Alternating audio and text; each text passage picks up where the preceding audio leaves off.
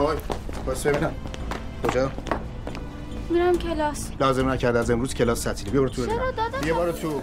رفق یه اصل مهم در خودسازی و انسانسازی. در مسائل تربیتی رفق مدارا یعنی فشار نیاوردن. یعنی رو اعصاب نرفتن. یعنی با حال طرف مقابل راه اومدن. این بابا الان اول عروسیشه. یا درگیر نامزدی درگیر عقد درگیر کنکوره الان نمی‌دونم وضعیت جسمیش وضعیت مناسبی نیست. یا کسی ازش مرده یا بدهکاری داره. حالتهای مختلف افراد باید انسان به رسمیت بشناسه. مدارا باید بکنه با دیگران. زن باید با شوهرش مدارا بکنه رفق داشته باشه تا شوهر آهسته آهسته بتونه خودش رو بالا بکشه. شوهر تو تازه الان امسال سال اول ازدواجتونه. حق نداری اینو مثلا با شوهر خواهر خودت مقایسش بکنی. یه شخص یه کسی که ازدواج کرده نباید خودش با پدر مادر خودش مقایسه کنه.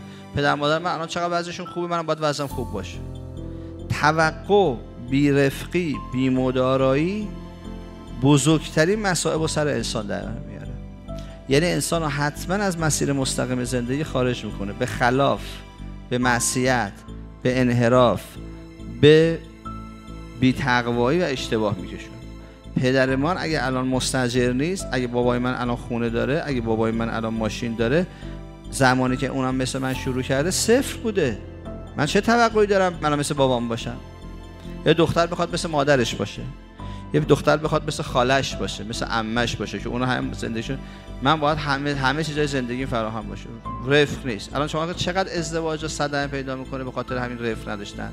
چون اشخاص هی مقایسه می‌کنن. این درک نکردن طرف مقابل صبر نکردن تحمیل بار اضافه به خودمون و به دیگران باعث میشه ما کلا از مسیر انسانیت آخرت و ابدیت خارج بشیم.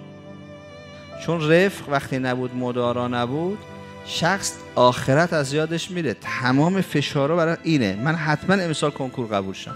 با یه به خودت رحم کن؟ اگه کسی رفق نداشته باشه با خودش یا دیگران شیطان او رو می‌ذاره سر کار.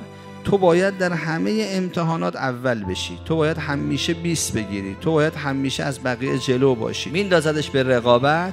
این شخص دیگه قسمت های عقلی و فوق عقلیش رو از دست میده. یعنی شخص چون گفتیم رابطه دنیا و آخرت مثل رابطه رحم مادر با دنیاست خیلی از افراد به دلیل نداشتن مدارا با خودشون و دیگران اساسا سخت میشن تو همون رحم دنیا. موقع مرگ هیچی برای آخرت ندارن.